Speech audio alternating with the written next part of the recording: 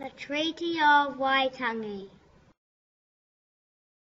The Māori and Pākehā people asked the Queen to help them make rules to keep them safe. On the 5th of February 1840. At Waitangi, New Zealand.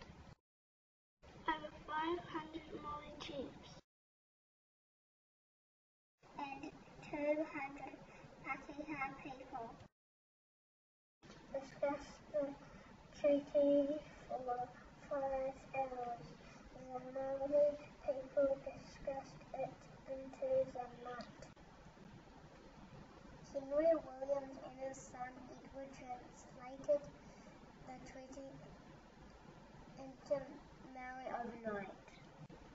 Um, On the 6th of February, both versions were, were read out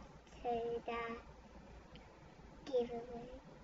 More than 40 Māori chiefs signed the treaty.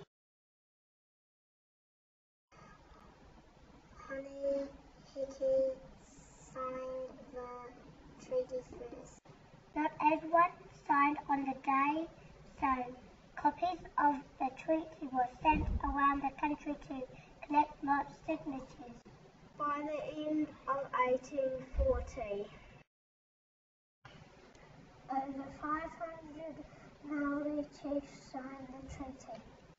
On the 21st of May 1840, William Hobson, on the behalf of Queen Victoria, declares sovereignty over New Zealand. Acknowledged Waitangi Day every year.